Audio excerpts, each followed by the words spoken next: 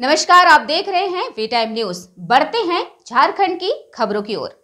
ग्यारकुंड प्रखंड के पंच मोहली पंचायत में मुख्य प्रत्याशी पारुल पांडे ने पैदल जुलूस निकालकर धुआंधार जनसंपर्क अभियान चलाया।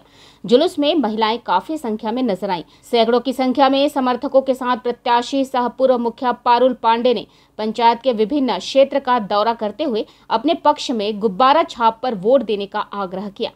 पांडे ने कहा कि पंचायत के ग्रामीणों के प्यार और आशीर्वाद के बिना सफलता मिलना मुश्किल है।